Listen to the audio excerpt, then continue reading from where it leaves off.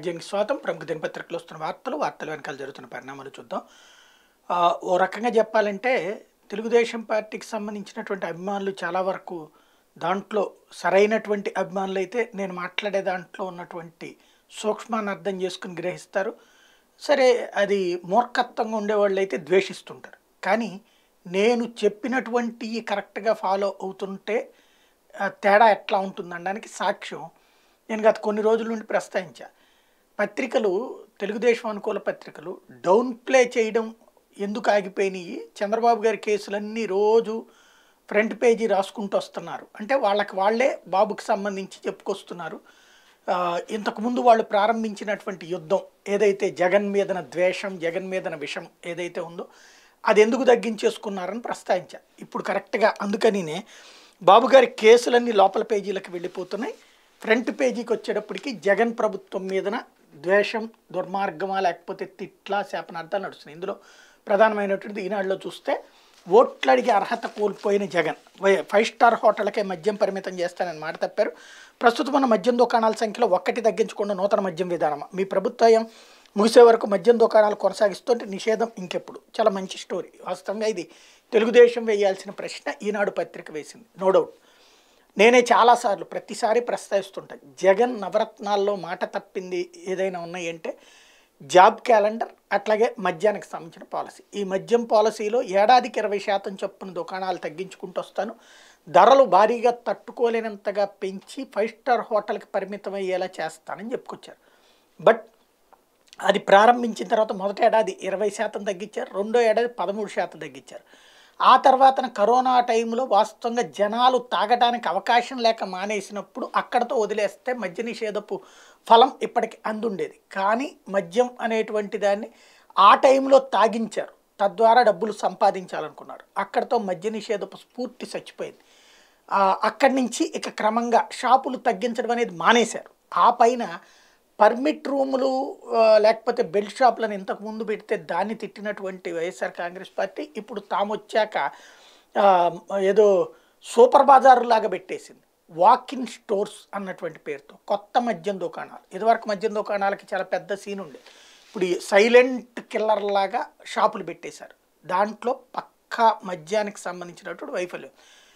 అయితే ఇది రాసే అర్హత ఈనాడుకుందా అన్నది ఓ ప్రశ్న. ఎందుకంటే ఇంతకుముందు చంద్రబాబు గారు ఫస్ట్ సంతకం తొలి ఐదు సంతకాలలో మద్య నిషేధం ఒకటి మద్య నిషేధ స్ఫూర్తితో బెల్ట్ షాపుల రద్దు ఒకటి.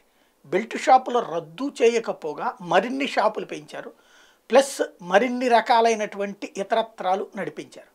అంటే ఇది షాపులు బెల్ట్ షాప్కి తోడు వైన్ షాప్ పక్కన పర్మిట్ రూమ్స్ కూడా అలౌ చేశారు.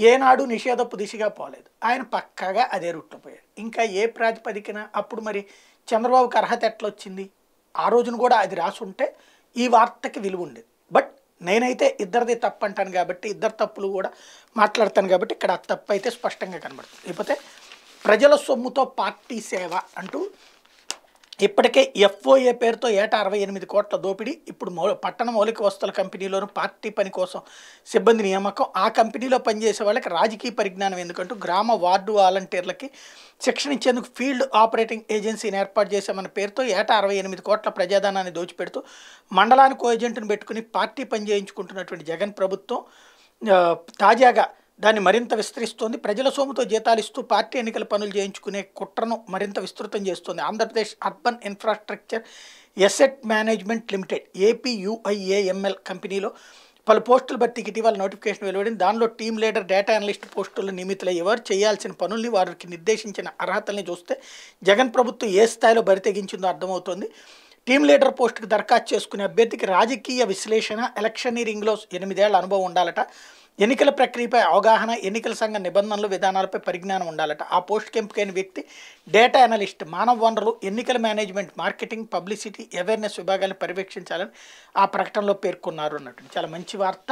ఖచ్చితంగా ప్రభుత్వం సమాధానం చెప్పాల్సినటువంటి వార్త. ఎందుకంటే ప్రభుత్వపు సొమ్ముతో పార్టీ కార్యకలాపాలు నడిపించుకోవాలి అన్నటువంటి ధోరణి. ఇంతకుముందు జన్మభూమి కమిటీలు విమర్శించిన వాళ్ళు ఇప్పుడు అంతకంటే కొత్త భూమి కమిటీలు వేశారన్నటువంటిది ఇక్కడ అర్థమవుతుంది. లేకపోతే కష్టాలు చెప్పుకోలేని వారికి గొంతుకలయ్యాం. లబ్ధిదారుల ఇళ్ళ వద్దకే నేరుగా పథకాలు డీబీటీ ద్వారా వారి ఖాతాల్లో రెండు పాయింట్ మూడు ఐదు లక్షల కోట్లు జమ వైఎస్ఆర్ వాహనమిత్ర పథకం పంపిణీ సభలో సీఎం జగన్ వెల్లడి అన్నటువంటి వార్తని ఇక్కడ హైలైట్ చేశారు. జగన్ అన్న ఆరోగ్య సురక్షతో మెరుగైన వైద్యం అందరూ ఇందులో భాగస్వాములు అవ్వాలి కార్యక్రమాన్ని వర్చువల్గా ప్రారంభించే సీఎం జగన్ అన్నటువంటి రెండు కూడా చిన్న వార్త కింద ఒకటి ఇచ్చారు. నేడు బాబుకు మద్దతుగా మోత మోగిద్దాం. శనివారం రాత్రి ఏడు గంటలకు సామూహిక నిరసన ఐదు నిమిషాల పాటు ఏదో ఒక ధ్వని చేయాలి. ప్రజలకు తెలుగుదేశం పార్టీ పిలుపు. ఇంతకు ముందే అన్నాడు కనీవిని ఎరుగని రీతిలో చంద్రబాబుకు మద్దతుగా రాష్ట్ర వ్యాప్తంగా జరిపిన నిరసన కార్యక్రమానికి పార్టీ శ్రేణులు ప్రజలు మద్దతు తెలపాలని తెలుగుదేశం పార్టీ కోరింది. శనివారం రాత్రి ఏడు గంటల నుంచి ఐదు నిమిషాల పాటు ఐదు కోట్ల మంది చేతులు కలిపేలా కలిసేలా మోత మోగిద్దామంటూ నిరసన కార్యక్రమానికి పిలుపునిచ్చింది.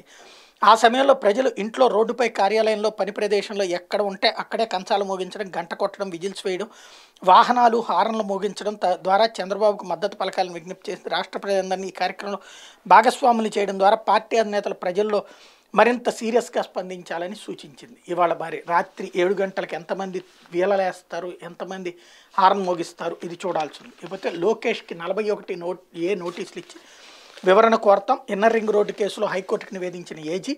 అలాంటప్పుడు అరెస్ట్ గురించి ఆందోళన అక్కర్లేదు. ఒకవేళ అరెస్ట్ చేయాలన్న కోర్టు అనుమతి అవసరం. స్పష్టం చేసిన న్యాయమూర్తి ముందస్తు బెయిల్ పిటిషన్పై విచారణ మూసివేత.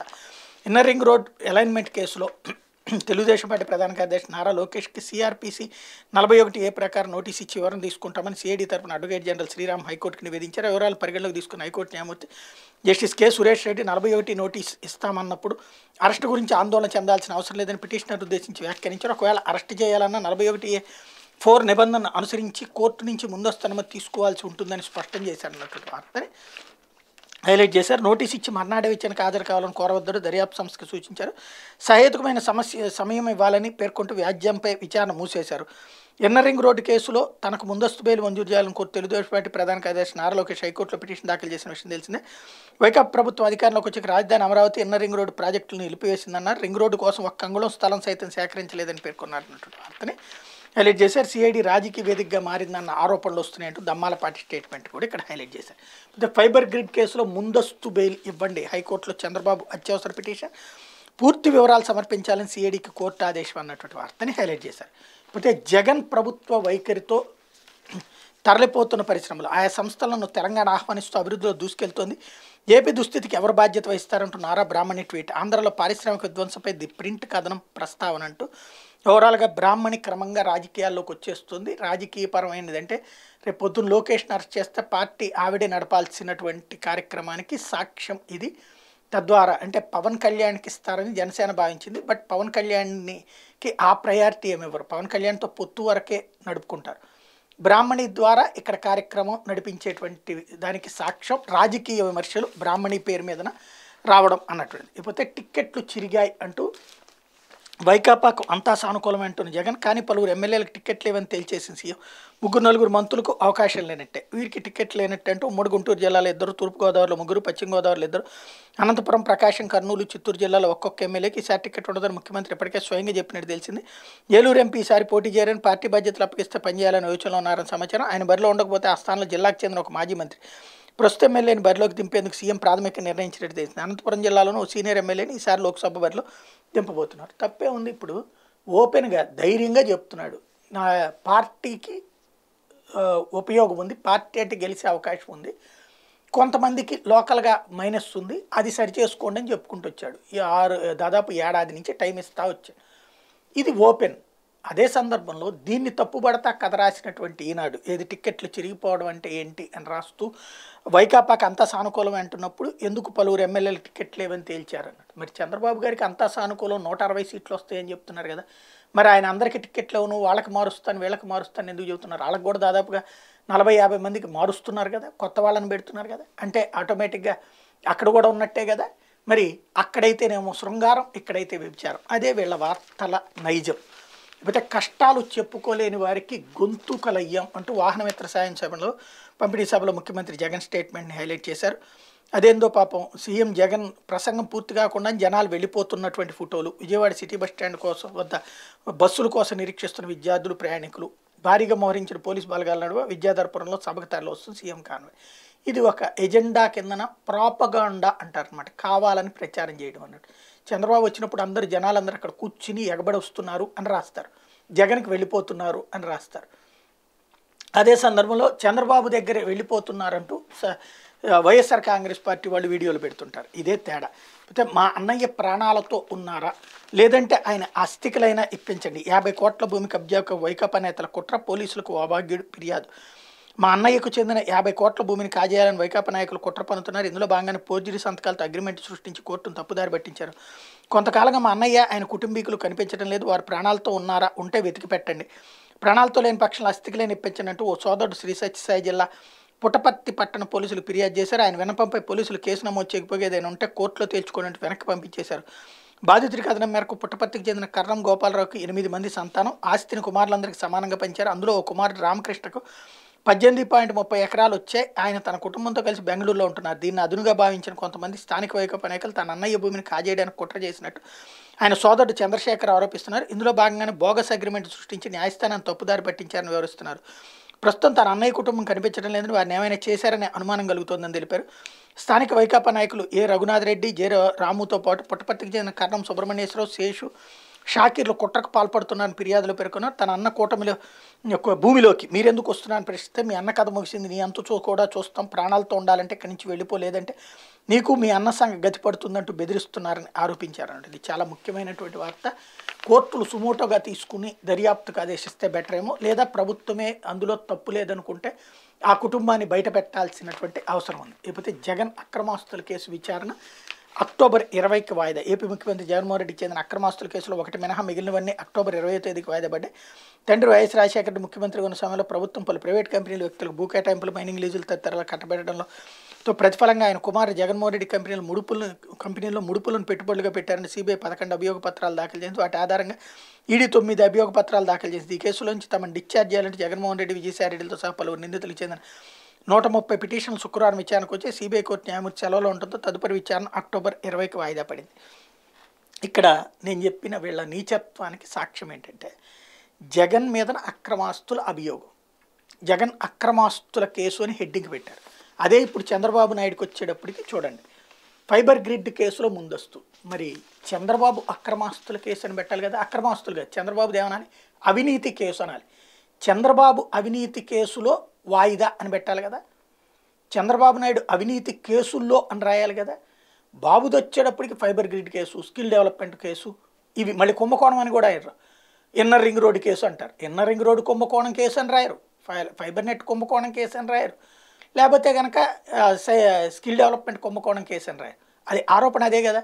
లేదు అభియోగం అన్న రాయాలి. అది రాయరు.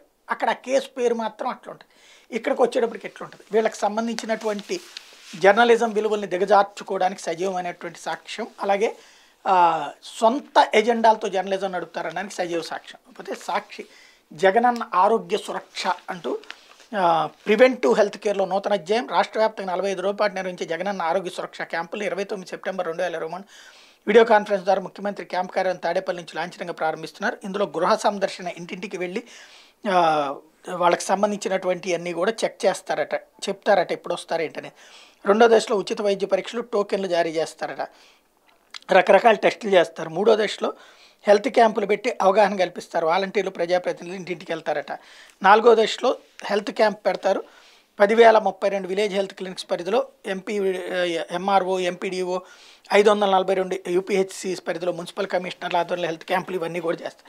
ఐదో దశలో నిరంతర పర్యవేక్షణ చేస్తూ ఉన్నది. ప్రతి ఇంటికి వైద్యానికి సంబంధించిన విషయంలో మాత్రం ఇది చాలా మంచి ఆలోచన. ఇంటింటికి వైద్యం అన్నటువంటి దానికి కీలకమైనటువంటి అంశం. ఇకపోతే సాక్షి యుద్ధానికి సిద్ధం అంటూ మనం వేసే ప్రతి అడుగు ప్రతి ఓటు పేదవాడిని రక్షించుకోవడానికి సీఎం జగన్ మనసున్న మన ప్రభుత్వం ఒకవైపు మనసు లేని గత పాలకులు మరొక వైపు దోచుకుని దాచుకునేందుకు అధికారం ఇవ్వమంటున్నారు. మేనిఫెస్టోను చెత్తబుట్టలో పడేసిన చరిత్ర వారిది. ఎన్నికల కురుక్షేత్రంలో మీ బిడ్డకు అండగా నిలవండి. లంచాలు వివక్షకు తావు లేకుండా అందరికీ సంక్షేమ ఫలాలు అంటూ రాబోయేది ఎన్నికల కురుక్షేత్ర యుద్ధం ఎలాంటి లంచాల అవినీతికి తావు లేకుండా ప్రజలందరికీ మేలు చేస్తున్న మీ బిడ్డ ప్రభుత్వం ఒకవైపు కేవలం దోచుకోవడానికి పంచుకోవడానికి దాచుకోవడానికి మాత్రమే పెత్తందారులు మరోవైపు నిలిచిన యుద్ధం ఇది. పేదల అనుకూల ప్రభుత్వానికి పెత్తందారులకు మధ్య జరిగే యుద్ధం ఇది. ఎన్నికల యుద్ధంలో మీకు అండగా ఉన్న మీ బిడ్డ ప్రభుత్వాన్ని ఆశీర్వదించండి అంటూ ఒకటి అట్లాగే ఉపాధికి ఇంధనం అంటూ వరుసగా ఐదో ఏడాది వైఎస్ఆర్ వాహనమిత్ర పథకంతో ఆర్థిక సాయం రెండు లక్షల డెబ్బై ఐదు వేల ఐదు తొమ్మిది వందల ముప్పై ఒక్క మంది ఖాతాల్లోకి పదివేలు చొప్పున మొత్తం రెండు వందల డెబ్బై ఐదు కోట్లు. ఐదేళ్ళలో ఒక వెయ్యి మూడు వందల కోట్ల సాయం ఒక్కొక్కరికి మొత్తం యాభై వేల రూపాయల లబ్ధి ఎంతోమందికి సేవలు అందిస్తున్న మీకు ప్రభుత్వం తోడుగా నిలబడుతుందంటూ జగన్ స్టేట్మెంట్ అట్లాగే ప్రజారోగ్యానికి రక్ష అంటే జగన్ అన్న ఆరోగ్య సురక్షతో ప్రివెంటివ్ కేర్లో కొత్త అధ్యాయం ఐదు దశల్లో కార్యక్రమ నిర్వహణ వర్చువల్గా ప్రారంభించిన జగన్ అన్నటువంటిది హైలైట్ చేశారు. పోతే ప్రభుత్వ భూములు మింగేశారు.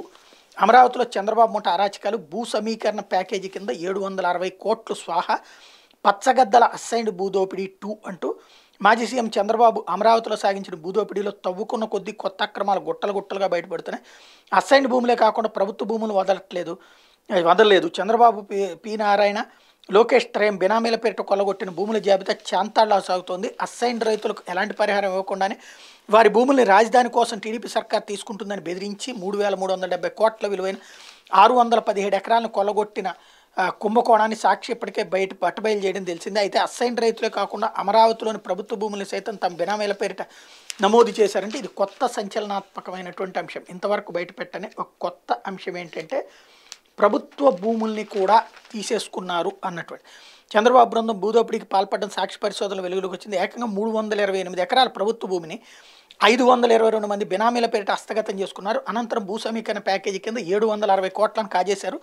చంద్రబాబు నారాయణ లోకేష్ అస్సైన్ భూదోపిడిలో అవినీతి పర్వం ఇదిగో ఇట్లా ఉందంటూ రాజధాని పేరుతో అమరావతి పరిధిలో సర్వే చేయించిన చంద్రబాబు నారాయణ దృష్టి ఆ ప్రాంతంలో ప్రభుత్వ భూములపై పడింది అసైన్ భూములు ఒకటి నుంచి నాలుగు కేటగిరీల కింద విభజించి ఎస్సీ ఎస్టీ బీసీ పేద రైతులు బెదిరించి తీసుకోగా ఎవరాధీనంలో లేని ప్రభుత్వ భూములు దక్కించుకునేందుకు మరో పన్నాగం పన్నారు ఆ ప్రభుత్వ భూములన్నీ గుర్తు తెలియని రైతుల ఆధీనంలో ఉన్న రికార్డులో చూపించారు.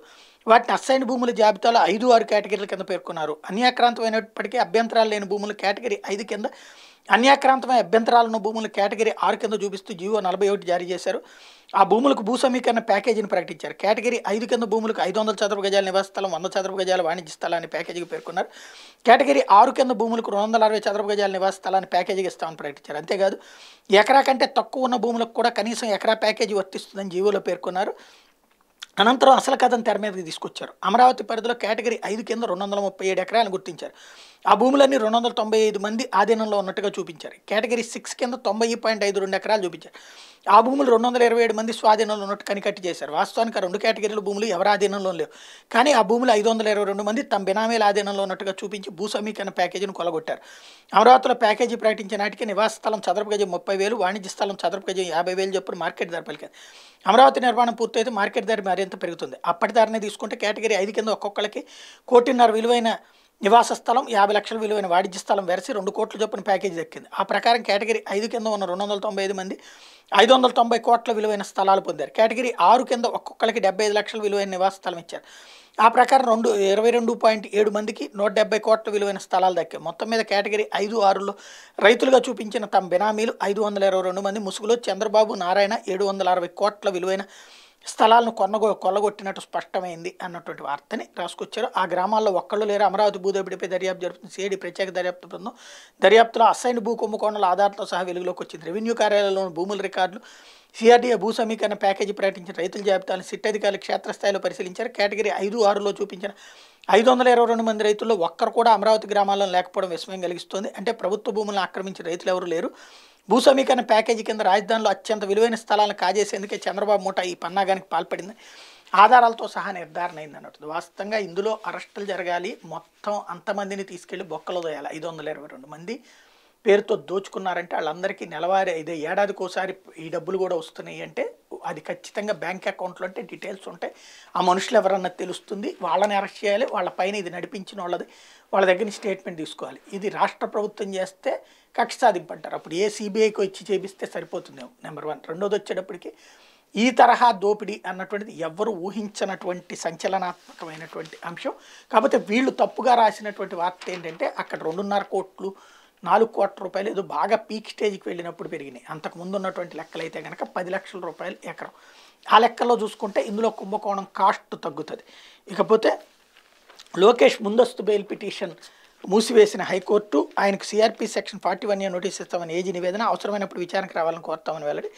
ఏజీ వాదనలు పరిగణలోకి తీసుకున్న కోర్టు దర్యాప్తును సహకరించాలని లోకేష్కి ఆదేశం అంటూ ఆ, కోణంలో రాసుకొచ్చారు. చంద్రబాబుకు అనుసరణలోనే ఐఆర్ఆర్ అలైన్మెంట్ మార్పు అంటూ దాంట్లో ఏజీ శ్రీరామ్ స్టేట్మెంట్ని వీళ్ళు హైలైట్ చేశారు. ఇక్కడ వాళ్ళేమో దమ్మాలపాటి స్టేట్మెంట్లను హైలైట్ చేస్తారు వీళ్ళు ఇటు హైలైట్ చేస్తారు. ఇకపోతే నాలుగు వరకు లొకేషన్ అరెస్ట్ చేయొద్దంటూ సిఐడి హైకోర్టు న్యాయమూర్తి జస్టిస్ సురేష్ రెడ్డి ఆదేశం అన్నటువంటి వార్తను కూడా హైలైట్ చేశారు. ఇకపోతే పప్పు లోకేష్ ఇది తప్పు అంటూ రాష్ట్రంలో లైంగిక వేధింపులపై లోకేష్ తప్పుడు ఆరోపణ చిన్న వయసులో గర్భధారణ వేధింపులే కారణం గర్భధారణలకు వేధింపులే కారణం అంటూ ట్వీట్. టీడీపీ పాలనలో కంటే ఇప్పుడు బాగా తగ్గిన లైంగిక వేధింపులు పదిహేను పదహారులో ఆరు పాయింట్ ఎనిమిది శాతం ఉండగా రెండు వేల పంతొమ్మిది ఇరవైలో మూడు పాయింట్ ఏడు శాతానికి తగ్గి జాతీయ కుటుంబ ఆరోగ్య సర్వే వెల్లడించిన వాస్తవం ఇది. ప్రభుత్వంపై బురద జల్లే ఉద్దేశంతో తప్పటట్టు నిన్న లోకేష్ ఇచ్చిన ట్వీట్కి కౌంటర్ ఇచ్చుకొచ్చారు లేకపోతే పార్లమెంట్లో అరుణోదయం ఆంధ్రప్రదేశ్ నుంచి పార్లమెంట్లో ప్రసంగించే అవకాశం ఆటో డ్రైవర్ కుమార్తెకు అరుదైనటువంటి గౌరవం అంటూ వైఎస్ఆర్ జిల్లా కేంద్రమైన కడపలోని అక్కాయపల్లికి చెందిన ఆటో డ్రైవర్ హరిప్రసాద్ రామాదేవి దంపతుల కుమార్తె జానకొండ అరుణ పార్లమెంట్లో ఉపన్యసించి అరుదైన అవకాశం దక్కించుకుంది. దేశవ్యాప్తంగా ఇట్లాంటి అవకాశం ఇరవై ఐదు మందికి దక్కగా ఏపీ నుంచి ఒక్కరే ఉండటం విశేషం. గాంధీ లాల్ బహదూర్ శాస్త్రి జయంతి పురస్కరించిన అక్టోబర్ రెండు న్యూఢిల్లీలోని పార్లమెంట్ భవన్లో జరగనున్న ప్రత్యేక కార్యక్రమంలో మహాత్మా గాంధీ జీవిత చరిత్ర ప్రసంగించబోతుంది. ఈమె కడపలోని శ్రీ శ్రీ వివేకానంద మహిళా డిగ్రీ కళాశాలలో గతేడాది డిగ్రీ పూర్తి చేసి డాక్టర్ బిఆర్ అంబేద్కర్ ఓపెన్ యూనివర్సిటీలో ఎంఎస్సీ చదువుతుంది. చిన్నప్పటి నుంచి కో కరికులర్ ఎక్స్ట్రా కరికులర్ యాక్టివిటీస్లో రాణిస్తోంది అన్నటువంటి వార్తని హైలైట్ చేశారు. అయితే మద్యం షాపుల గడువు ఏడాది పొడిగింపు ఉత్తర్వులు జారీ చేసిన ప్రభుత్వం. రాష్ట్రంలో మద్యం షాపుల గడువు మరో ఏడాది పొడిగిస్తూ ప్రభుత్వం ఉత్తర్వులు జారీ చేసింది రాష్ట్రంలో రెండు వేల తొమ్మిది వందల ముప్పై నాలుగు మద్యం షాపుల గడువు సెప్టెంబర్ ముప్పై తేదీతో ముగిపోతుంది ఈ నేపథ్యంలో వీటి గడువు అక్టోబర్ ఒకటో తేదీ నుంచి వచ్చే ఏడాది సెప్టెంబర్ ముప్పై తేదీ వరకు కొనసాగిస్తూ ప్రభుత్వ chief special chief secretary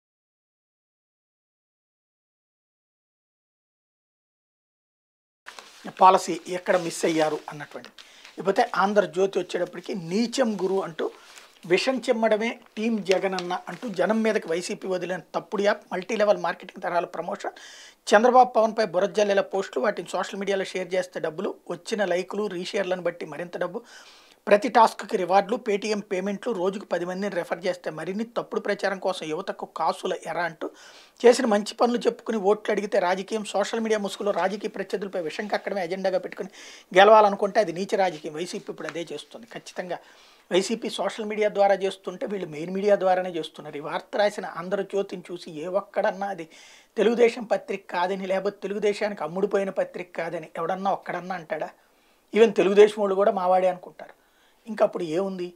ఒక నీచ పత్రిక మరో నీచత్వాన్ని గురించి బయటపెట్టింది. తప్పులేదు ఆ వార్త బయట పెట్టడంలో తప్పులేదు సేమ్ టైం ఈ నీచ పత్రిక ఆ నీచత్వం నచ్చలేదు. ఆ విషయంలో ఒప్పుకోవాలి. అలాంటి నీచత్వం తప్పే. సేమ్ టైం ఇక్కడ వీళ్ళది అంతకంటే తప్పు అన్నటువంటి విషయం. ఆ యాప్ ఎవరు డౌన్లోడ్ చేసుకుంటే వాడికే వస్తుంది. కానీ ఈ పేపర్ కొన్న పాపానికి ప్రతి ఒక్కడు కూడా సచ్చినట్టు చదవాలి. చదివి ఈ- ఈ పేపర్కి కూడా డబ్బులు ఇచ్చి కొంటే మాత్రమే వస్తుంది. ఇదైనా సరే. అంతే కదా. లేకపోతే కొనబోతే ఎవరికి అవకాశం లేదు. అంతే ఉంటుంది. అది కూడా యాప్ అయినా సరే. లేకపోతే జమిలి సాధ్యమే అంటూ రెండు వేల ఇరవై నాలుగులో ఉండే అవకాశం లేదు రెండు వేల ఇరవై తొమ్మిదిలో పెట్టేందుకు కసరత్తు చేస్తున్నాం. ఏడాది వ్యవధిలో అన్ని ఎన్నికలు పూర్తి తొలి దశలో లోక్సభ శాసనసభలకు తర్వాత దశలో స్థానిక సంస్థలకు న్యాయ కమిషన్ వర్గాల వెల్లడి అన్నటువంటి వార్తని హైలైట్ చేశారు. ఈ ఇరవై నాలుగులో కాకుండా ఇరవై తొమ్మిదిలో జమిలి ఎన్నికలు జరిగేటువంటి అవకాశం ఉంది.